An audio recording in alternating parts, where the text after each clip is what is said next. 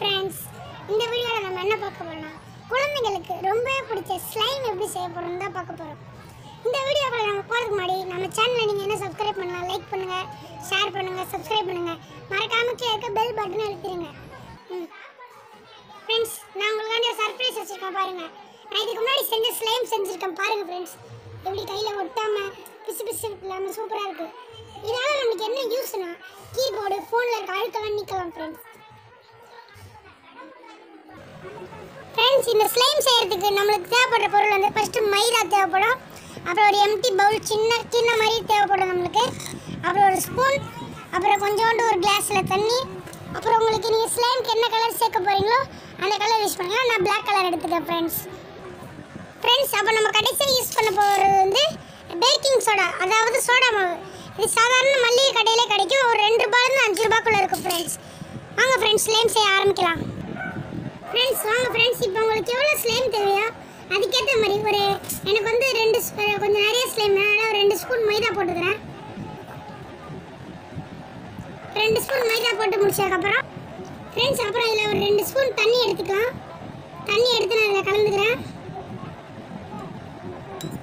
கொஞ்சோண்டு தண்ணி எடுத்துங்க அப்புறம் ரொம்ப பிசு பிசுப்பாக ஆயிரும் ஃப்ரெண்ட்ஸ்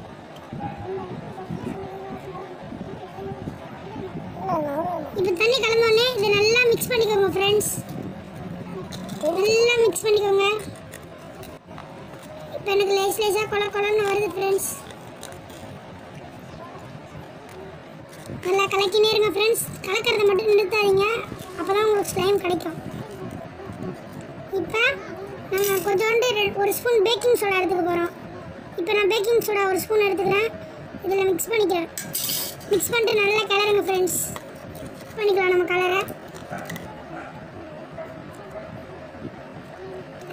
ஃப்ரெண்ட்ஸ்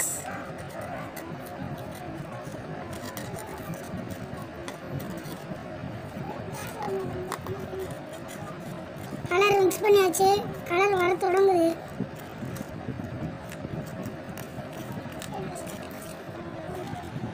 பாருங்க ஃப்ரெண்ட்ஸ் கலக்கினே இருந்தால் நம்மளுக்கு பிளாக் கலர் வந்துருச்சு. நல்லா கலக்குங்க. இங்கே பாருங்க ஒரு மாதிரி குழ குழன்னு வரும். அப்படியே கட்டியா விடா இருக்கும். இன்னும் கொஞ்ச நேரம் கலக்கினீங்கன்னா நம்மளுக்கு ஸ்லைம் வந்துடும் கலக்கினே இருக்கேன். ஸ்லைம் வர ஆரம்பிச்சிருச்சு. ஸ்லைம் வர ஆரம்பிச்சிருச்சு.